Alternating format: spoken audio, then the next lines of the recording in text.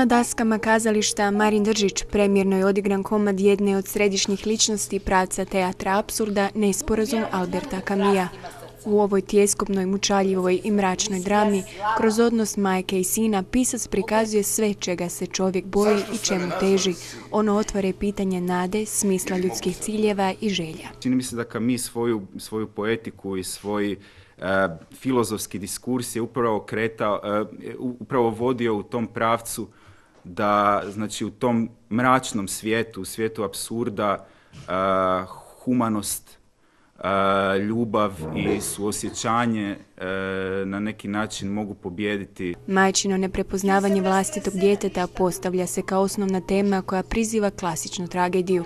Njihov davno izgubljen odnos paradoks je koji na površinu izlači ljudsko biće razapeto između dva zla. Sve je to tako duboko, tako crno i toliko zapravo negdje ima i opravdajućeg nečega e, jedna, e, jedna zastrašujuća meni situacija, vizualno pamtim i odmah rekonstrukcije pravim na tom mjestu gdje su slažu ti mrtvaci, jeli? kad ona kaže da bar ovaj bude posljednji. Utjeloviti likove pisane Kamijevim perom nije nimalo lagan zadatak, tim više što nedostaje suvremenog prijevoda njegovog opusa na hrvatski jezik. Jako je teško glumcu a ovo je problematika koju mi e, e, e, istražujemo i tako dalje, koja će se vidjeti u predstavi, izuzetno aktualna, govoriti nekim jezikom koji je skupio sokove od prije 50 godina u drugom društvenom uređenju i ideološki i tako da je. To je strašno. Uz Perišina i Podruko Kotović nastupaju Gloria Šoletić, Boris Matić i Nika Burđeles, dok glazbu i scenografiju potpisuju Ivan Končić i Vesna Režić. Kostime je osmislila Dubravka Skvrce, a ulogu jezične savjetnice preuzela je Katija Bakija. Novosti stižu iz ureda Dubrovačkih ljetnih igara. Naime, novosezonski program uvršten je nastup popularne američke jazz dive Nine Filong, čiji će nastup festivalska publika imati prilike pogledati 24. kolovoza na taraci tvrđave Revelin. Nina je u svojoj bogatoj karijeri uspjela skupiti šest nominacija za nagradu Grammy. Na 43. dodjeli Grammyja je i nastupila i danas se nalazi na gotovo svim listama najvećih živućih jazz pjevačica kao dostojna nasljednica jazz diva zlatnog doba Ella Fitzgerald, Sarah Vaughan ili Billie Holiday. Otvaranje 65. dubrovačkih ljetnih igara odviće se za nepunih mjeseci i pol dana, te su pripreme u punom vijeku. Redatelji dramskih premijera Krešimir Dolenčić i Jagoš Marković su okupili svoje ansamble e, i vježbaju, probe se održavaju evo već od početka ovog mjeseca. Istovremeno u Mariboru koreografi i redatelji Leo Mujkić i Valentina Turku su skupili baletane i balerine i rade e, na opasnim vezama. Baletu čiju ćemo premijeru imati 20. kolovoza. Također novost je kako će ured prodaje u prizemlju festivalske palače otvoriti svoja vrata nešto ranije nego inače, točnije 9. lipnja. U okviru svoje ljetne koncertne sezone u Atriju Kneževog dvora Dubrovački simfonijski orkestar upriličio izvedbu Šubertove simfonije broj 5 u B-duru te Mozartove broj 40 u G-molu. Ovog puta koncertom je ravno renomirani austrijski dirigent Kristof Campestrini domaćoj publici od ranije poznat po suradnji s dubrovačkim simfoničarima u sklopu prvog izdanja manifestacije Dubrovnik u pozno ljeto. Raditi s ovakvim kalibrom glazbenika uvijek je zadovoljstvo, rekao je ravnatelj Milat, nadodavši duhovito kako svaka momčad pod paskom dobrog trenera bolje igra u ovom slučaju zvuči. Zadatak je trenera, dirigenta da poveže ono što mi smo, što radimo, međutim njegov posao je da sve to objedini, da da onu umjetničku notu, umjetničku crtu i na posljedku on je glavni čovjek ovog koncerta. Campestrini, umjetnik velike glazbene raznolikosti i duboke introspekcije, autor ciklusa skladbi komornog i simfonijskog žanra, jednako je cijenjen i kao operni dirigent. Pod njegovom palicom sviralo je više od stog orkestara na svih pet kontinenata. Čitavu godinu putujem svijetom. Svaki tjedan sam u drugom gradu. Prošli sam bio u Kini, a prije toga u Poljskoj. Izuzetno sam sretan što sam danas ovdje i što nastupam s Dubrovačkim simfonijskim orkestrom. Prema Hrvatskoj kampestrini gaji posebnu privrženost, a ove godine očekuje ga i jedan nov izazov. Od ove godine preuzimam ulogu glazbenog ravnatelja Međunarodnog festivala Dubrovnik u pozno ljeto. Pripremili smo šest programa koji će se odvijati od sredine kolovoza do rujna. Ugostit ćemo mnoge izvrsne glazbenike. Jako sam zadovoljan ovom suradnjom.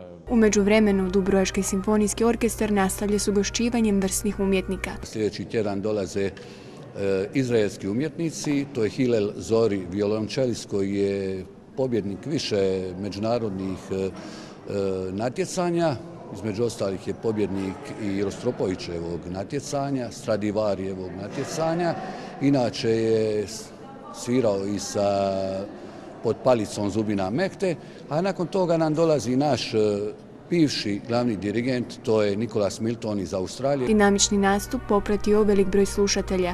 Trend posjetitelja na izvedbama Dubrovačkog simfonijskog orkestra uvjeren je Milat s višim večernjim temperaturama će i sam porasti. U atriju Drevne Divone izloženo je 50 uradaka učenika osnovne škole Marin Getaldić. Dijela su nastala kao rezultat radionice akademske slikarice Rajne Inić, po čim tutorstvom ovi mališani uzrastom od 8 do 14 godina svoju kreativnost razvijaju već nepuno desetljeće. Slikali su se slobodno, znači imali su neku inspiraciju po fotografijama koje svako od njih imao svoju i onda su s bojom išli slobodno. Tako da imamo slike na platnu, sa akrilom, imamo slike na kartonima. Motivi su raznovrsni od školjki, morskih ježinaca, rakova, meduza, mnogobrojnih stanovnika našeg podmorja. Ribe, korali, stijene sa... Prvo sa olovkom, pa onda sa kistovima. Dala sam ribu i koral, to predstavlja u život u moru, sa krilom. Ovakvim vrstama vanškolskih aktivnosti, rekla Inić, najmlađi se rado odazivaju. Strpljivi su, disciplinirani u procesu stvaranja, no svrha okupljanja, bilo u prostorijama škole centar ili samom atelje umjetnice, prvenstveno je dobra zabava. Ja kod kuće stalno radim nešto umjetno, soba mi je u kreativnom neredu.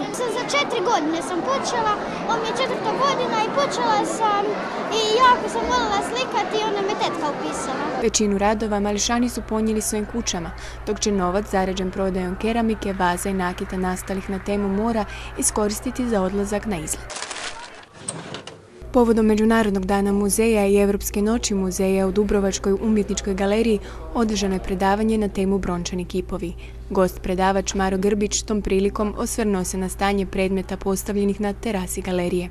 Ova kulturna gradska ustanova jedna je od rijetkih u Hrvatskoj koja posjeduje tolik broj umjetnina nastalih u materiji bronce, ali koja su zbog neprimjerenog izlaganja vani pod utjecajem atmosferalija i bez postamenata, zaključuje Grbić, izuzetno zapuštena izgledom. One su desetljećima na terasi, malo pod krovom, malo na otvorenome. Od početka, od kad su 70-ih došle i prikupljena, nikad se nije radilo na njiho, restauraciji njihove patine.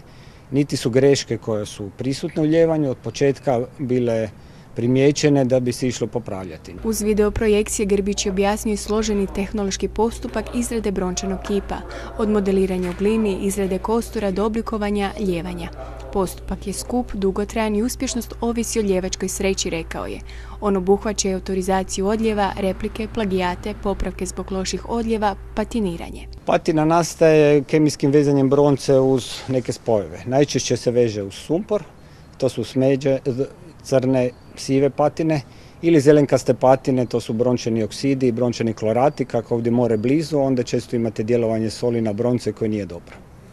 Tako da možete varirati boje, a možete imati patine koje su stabilne pa da desetljećima traju i tu treba naći mjeru između kemijske stabilnosti i izražajnosti kipova.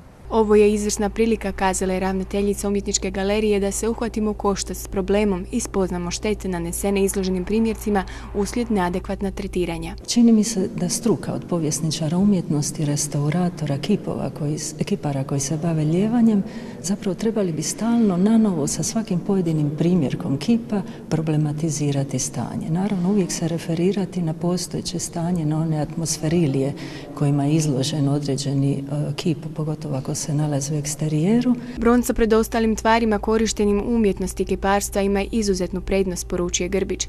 Ona sadrži bakar zbog čega se može različito bojati u zeleno, sivo, crveno, crno, smeđe pa čak i žuto.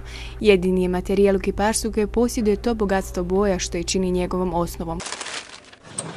Obilježavanju Međunarodnog dana muzeja pridružio se Knežev dvor scenskim kolažom, druga strana povijesti Dubrovačke udruge, sve ostalo je glazba odigranim u njegovom glazbenom salonu. U programu nastalom u suradnji s Dubrovačkim muzejima poseban naglasak stavljen je na fortepijano, dio stalnog postava Palače Kneza, na kojem je pijanistica i autorica scenarija Ivana Jelača uz pratnju violinistice Dore Kamber te Marojice Bijelića ulozi Ruđera Boškovića izvela Mozartove skladbe pisane isključivo za ovaj instrument. Inače, riječ je o vrlo rijetkom glazbalu, čih svirljivih primjeraka na svijetu ima tek 12. Jedan se nalazi u Mozartovoj rodnoj kući u Salzburgu, dakle taj je došao u posjed tog instrumenta 1782. nakon što se doselio u Beč. E, da zatim imamo naš Dubrovački vater, e, imamo u Eisenstadtu jedan i u Kunsthistorisches muzeum u Beću također postoji e, jedan koji je iz 1700, malo kasnije. Dubrovački fortepijano nastao je između 1790. i 1795. godine. Prema predaju grad je dospio iz Beča u 19. stoljeću, a za fundus Dubrovačkih muzeja otkupljen je 1949.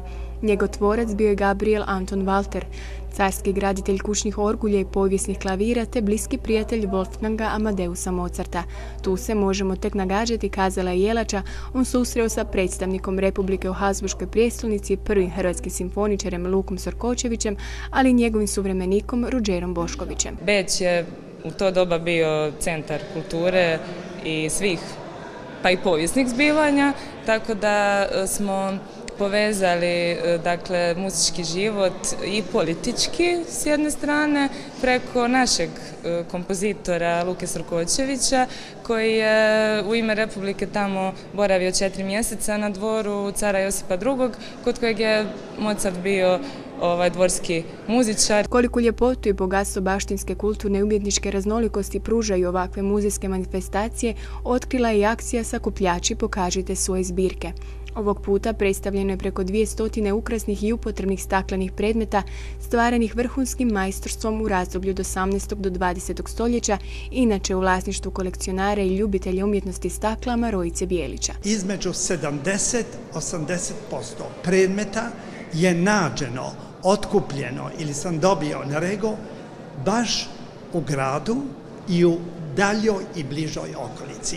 A samo može biti jedno 20% su došli direktno iz različitih središta Europe. Poanta ovakvih priredbi oživjeti i slikom približiti publici zaboravljene ulomke iz naše šarolike povijesti.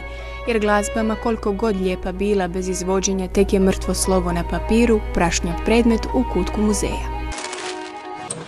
Boris Bučan, velikan suvremenog hrvatskog slikarstva, najpoznatiji po vrhuncima koje je postigao na području grafičkog dizajna, prvenstveno izradi plakata, u Dubrovačkoj umjetničkoj galeriji pod naslovom Prizori iz suvremenog života izložio je zbir svojih recentnih radova nastalih u tehnici akrilika na platnu. Riječ je o tome o zadnjoj godini mog rada, riječ je o tome da su radovi ovaj, koji prate događaje u mom životu i scene iz iz Zagreba, točnije sa Britanskog trga, Ilice, Trga Republike, Trga Bana Jelačića. Bučan je autor određena vječnu mladost koja se iz stalno nove očaranosti metaforom u slikarevu laboratoriju pretvara cijeli izvanski svijet kojeg on pozorno prati i prenosi u nemoguće spojeve zapisale u katalogu izložbe Delić Goce. Ovi radovi zapravo pokazuju njegovu narativnost. E, svaka od ovih platna nosi, nosi cijelu priču u sebi, ali on ono što je moja teza da je zapravo putem metafore zato sam ga i nazvala pjesnikom slikarstvu, on je zapravo putem metafore pokazuje nešto drugo. Zapravo to jest figuracija, ali slikar nas uči da je ona varana. Posrijedi je izložba koja je prvotno otvorena u Zagrebačkoj gliptoteci Hrvatske akademije znanosti i umjetnosti, a dubrovački posjetitelji njene dijelove odabrane od strane Vere Horvat-Pintarić mogu razgledati do 29. lipnja ove godine.